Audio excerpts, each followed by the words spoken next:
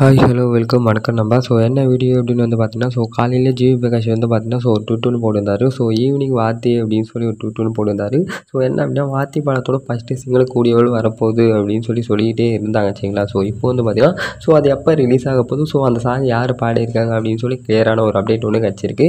So Venky Atluri அவரோட டைரக்ஷனில் நம்ம தனுஷ் தான் இந்த படத்தை வந்து ஹீரோவாக நடிக்கிறார் சரிங்களா? ஸோ மூவி வந்து பார்த்தீங்கன்னா ஸோ எஜுகேஷன் சம்மந்தப்பட்ட ஒரு மூவி இது வந்து பார்த்தீங்கன்னா ஸோ இதோட டீசர்லாம் ரிலீஸ் பண்ணி பண்ணிட்டு இருந்தாங்க. ஸோ அண்ட் வந்து பார்த்திங்கன்னா ஸோ போஸ்டர்ஸ்லாம் நிறைய ரிலீஸ் பண்ணாங்க. அண்ட் வந்து பார்த்திங்கன்னா போ ரிலீஸ் டேட் மென்ஷன் பண்ணி டிசம்பர் டூ அன்றைக்கி ரிலீஸ் ஆகுது அப்படின்னு சொல்லி சொல்லியிருந்தாங்க. இப்போ வந்து பார்த்திங்கன்னா ஸோ படம் வந்து போஸ்ட்போன் பண்ணிட்டாங்க ஸோ எதனால் அப்படின்னு பார்த்தீங்கன்னா ஸோ படத்தில் கொஞ்சம் கொஞ்சம் வருகை இருக்கா சரிங்களா? ஸோ அதனால் வந்து பார்த்தீங்கன்னா ஸோ இப்போ படம் next year February month release ஆகும் அப்படின்னு சொல்லியிருக்காங்க.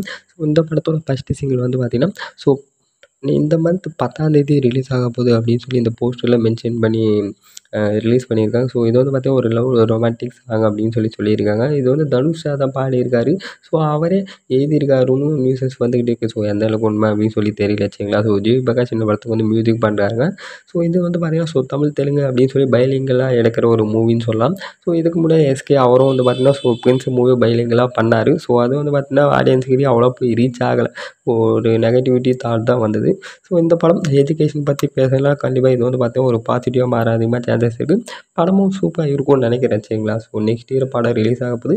ஸோ கண்டிப்பாக அதோட ரிலீஸ் டேட் ஆண்டு வந்து பார்த்திங்கன்னா ஸோ நெக்ஸ்ட் நெக்ஸ்ட் அப்டேட் கண்டிப்பாக நம்ம எதிர்பார்க்கலாம் சரிங்களா? ஸோ படத்தோட ஃபஸ்ட்டு சிங்கிள் பத்தாந்தேதி ரிலீஸ் ஆக போகுது. ஸோ வெயிட் பண்ணி பார்ப்போம் இந்த சிங்கிள் எப்படி இருக்குது அப்படின்னு சொல்லி.